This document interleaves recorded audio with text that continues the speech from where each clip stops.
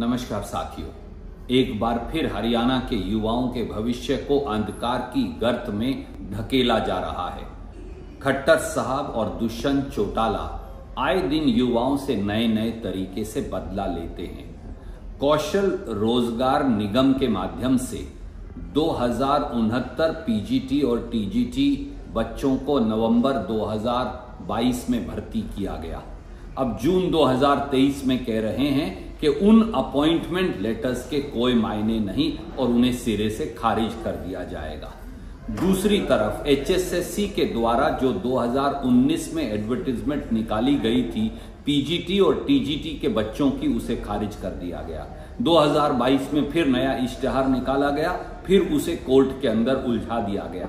40 से पचास हज़ार हरियाणा के लड़के और लड़कियाँ धक्के खा रहे हैं, ओवर एज हो गए हैं। परंतु कोई नौकरी नहीं।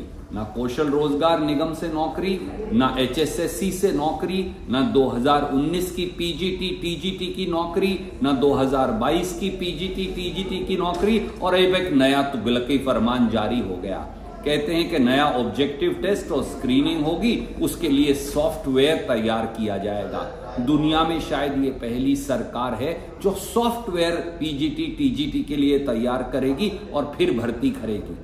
खट्टर साहब दुष्यंत चौटाला जी, आए दिन बच्चों के भविष्य से खिलवाड़ बंद करिए।